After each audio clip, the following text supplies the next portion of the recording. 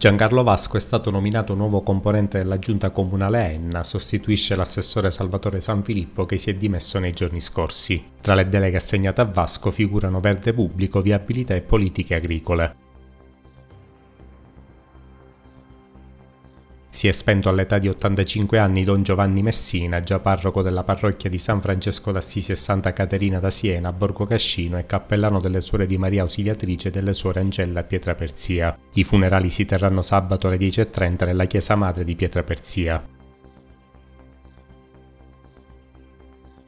È giunto al comando provinciale di Enna della Guardia di Finanza il sottotenente Roberto Gargiulo. L'ufficiale è stato destinato al comando della sezione tutela finanza pubblica del nucleo di polizia economico-finanziaria di Enna, in sostituzione del tenente Pierluigi Licchetta, trasferito di recente al comando della compagnia di Tarquinia.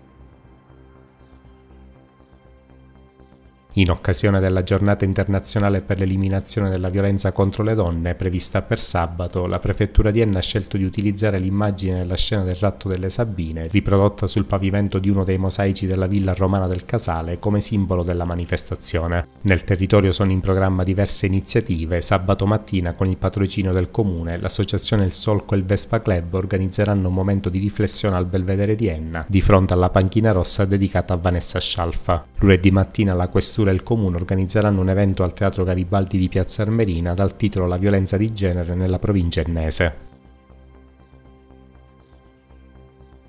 Sabato alle 18.30 Manuel Di Maggio presenterà al Garage Arts Platform di Enna il libro di poesia intitolato Il confine. Oltre all'autore interverranno l'editore Maurizio Vetri, l'attrice Patrizia Fazzi e il musicista Gaetano Fontanazza.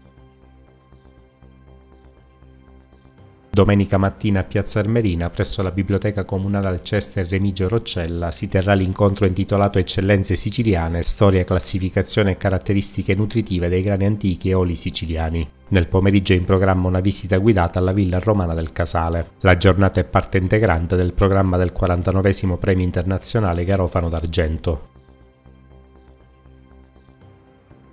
Il calendario della raccolta differenziata nella città di Enna prevede per le utenze domestiche venerdì sera il conferimento dell'umido, sabato sera nessun conferimento e domenica sera il conferimento dell'umido e del metallo. Le utenze domestiche sono invitate a esporre sacchi o mastelli dalle ore 22 alle ore 6.